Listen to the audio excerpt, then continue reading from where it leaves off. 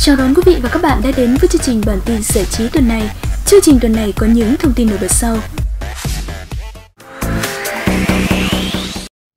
Liên quan tới việc vợ Xuân Bắc, cựu diễn viên Hồng Nhung khóc lóc tố cáo nghệ sĩ nhân dân Anh Tú chèn ép mình trong quá trình quản lý giảng dạy tại trường Cao đẳng Nghệ thuật Hà Nội gây xôn xao làng giải trí.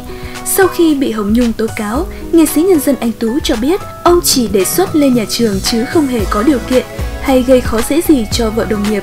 Nghệ sĩ Anh Tú cũng giải thích rằng bản thân chỉ là cộng tác viên, không phải phận sự của trường, nên anh không biết gì về chuyện này. Chuyện vợ Xuân Bắc nói ông o chỉ là hiểu lầm, hy vọng mối quan hệ của cả hai bên sẽ không có gì ảnh hưởng sau chuyện này. Tuy nhiên, vợ Xuân Bắc vẫn khẳng định rằng chỉ có bằng chứng có thể chứng minh lời cáo buộc của mình đối với nghệ sĩ nhân dân Anh Tú. Sự việc chưa rõ đúng sai, bất ngờ cựu người mẫu Trang Trần từng là học trò cũ của giảng viên Hồng Nhung và nghệ sĩ nhân dân Anh Tú lên tiếng binh vực thầy, tố cáo Hồng Nhung cậy quyền thế uy hiếp mình. Trước những lời tố cáo đe dọa của Trang Trần, Hồng Nhung cũng nhanh chóng đã xéo lại ngắn gọn, tự hào vì có những học trò văn minh, đúng là nhìn trò ra thầy.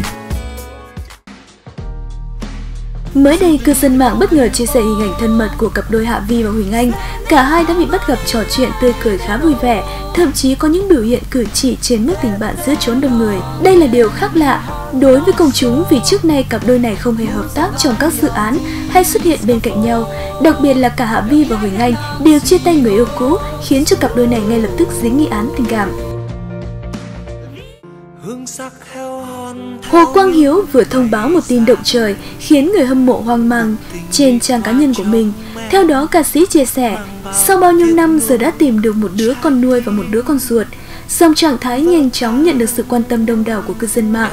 Nhiều người băn khoăn không biết đây là lời nói đùa hay nói thật của giọng ca con bướm xuân. Được biết Hồ Quang Hiếu đã trải qua một lần đổ vỡ trong hôn nhân trước khi đến với ca sĩ Bảo Anh. Vợ cũ của anh là hot girl Evie. Cả hai đã chia tay sau 3 tháng vì không tìm được tiếng nói chung. Thủ tục thực hiện nhanh chóng vì cả hai cùng làm đám cưới mà chưa hề đăng ký kết hôn. Hình ảnh được đăng tải kèm status của Hồ Quang Hiếu khiến cho fan nghi ngờ liệu đây có phải là con của anh và vợ cũ hay không. Hai cậu bé được khen vừa dễ thương vừa bảnh bao đẹp trai. Bên cạnh đó những bình luận cũng tỏ ra thích thú với lời thông báo này. Nhiều người hâm mộ dục anh và bạn gái mới là ca sĩ Bảo Anh nhanh chóng kết hôn để có những đứa con đáng yêu. Thời gian qua, thông tin Nhật Kim Anh và chồng đại gia đường ai nấy đi khiến cho khán giả không ngừng xôn xao. Đặc biệt là việc người bạn xác nhận cả hai đã tan vỡ từ vài tháng trước. Điều này làm cho người hâm mộ không khỏi nuối tiếc về một tình khá đẹp. Trước những đồn đoán của dư luận, Nhật Kim Anh lên tiếng phản pháo khẳng định tin đồn này là không xác thực. Không những vậy, hình ảnh của nữ ca sĩ cùng chồng vui vẻ cùng nhau vừa xuất hiện trên mạng xã hội. Nhật Kim Anh và doanh nhân Bửu Lộc kết hôn vào cuối năm 2014. Tháng 9 năm 2015, cả hai có với nhau một cậu bé trai tên Ngô Bửu Long. Ông xã của nữ diễn viên Bửu Lộc là một doanh nhân từng tốt nghiệp hai trường đại học. Ngoài công việc ở ngân hàng tại Cần Thơ, anh còn tham gia công việc kinh doanh của gia đình.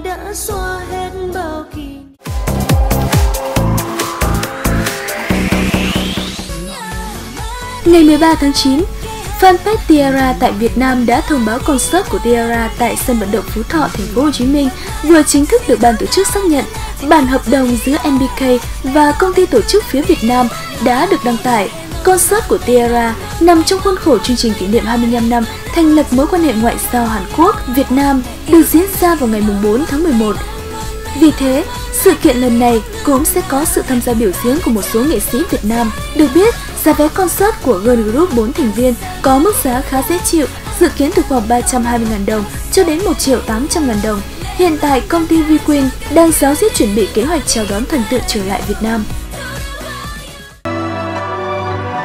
Mới đây, giới truyền thông Trung Quốc đồng loạt chia sẻ hình ảnh đời thường của cặp đôi vợ chồng nổi tiếng Hoắc Kiến Hoa và Lâm Tuân Như. Hiện tại cả hai đang có những ngày tháng rảnh rỗi bên nhau tại Đài Loan.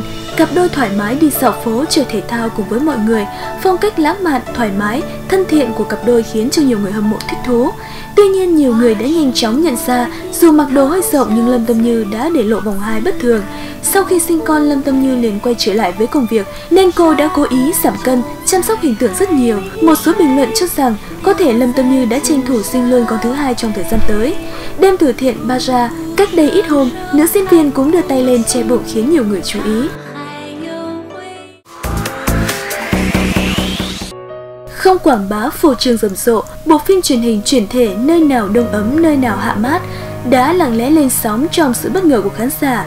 Tác phẩm đánh dấu sự trở lại của ngôi sao vẫn cứ thích em, Giả Nãi Lượng. Cùng với nữ diễn viên, cùng với nữ diễn viên đang được mến mộ là Vương Tử Văn. Tuy nhiên, dù mới chỉ trình chiếu 3 tập đầu tiên, bộ phim đã khiến cho fan ruột của nguyên tác đồng loạt thả phẫn nộ bởi màn thể hiện không được như mong đợi từ Giả Nãi Lượng.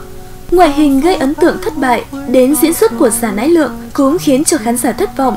Dù chưa phản cảm tới mức lố, song cách thể hiện của nhân vật tịch si thần của anh khá là gượng gạo, thiếu nghiêm túc. Bản diễn của giả nãi lượng là Vương Tử Văn cũng thể hiện sự thụt lùi thấy gió trong nơi nào đông ấm, nơi nào hạ mát. Chưa kể đến việc kịch bản của nơi nào đông ấm, nơi nào hạ mát đã được cải biên sao cho cầu huyết hơn. Đúng với gu xem phim của các bà nội trợ xứ chung, qua đó bộ phim cũng tạo nên được những điểm kịch tính rất riêng. Đã được thông qua lời của mẹ đẻ, Cố Tây Tước, tập đầu tiên của nơi nào đông ấm, nơi nào hạ mát, đã đạt thành tích rating không hề tồi với 1,039%. Khi trình chiếu trên Đại Chiết Giang, các tập tiếp theo của Nơi nào đông ấm, nơi nào hạ mát sẽ được tiếp tục lên sóng từ thứ hai đến chủ nhật hàng tuần trên Đại Chiết Giang. Cùng với trang mạng Youku, bộ phim gồm 44 tập, mỗi tập thời lượng 40 phút, kịch bản do Cố Tây Tước và Trần Kiều Sở chấp bút. Bản tin giải trí đến đây là kết thúc. Xin chào và hẹn gặp lại.